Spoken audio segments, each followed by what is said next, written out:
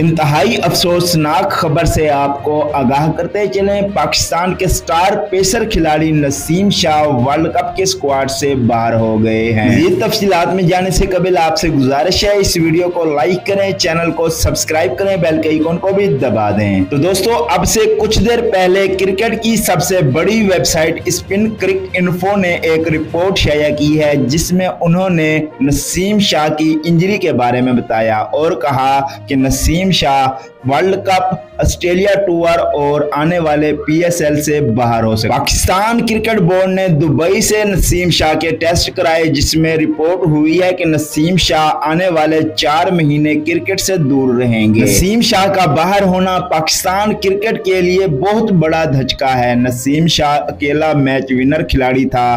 दोस्तों, नसीम शाह की रिप्लेसमेंट में आप किस खिलाड़ी को शामिल करना चाहेंगे? मोहम्मद आमिर या फिर मोहम्मद हसनैन? इब्तदाई रिपोर्ट के मुताबिक मोहम्मद स्नैन को वर्ल्ड कप के स्क्वाड का हिस्सा बनाया जाएगा। लेकिन मोहम्मद आमिर रिटायरमेंट वापस लेते हैं, तब उनके भी चांसेस हैं कि वो वर्ल्ड कप के स्क्वाड में एंट्री कर सकें। तो दोस्तों, आप किस खिलाड़ी को वर्ल्ड कप के स्क्वाड में देखना चाहते हैं? कमेंट करके बताएँ, वीडियो को लाइक करें शेयर करें।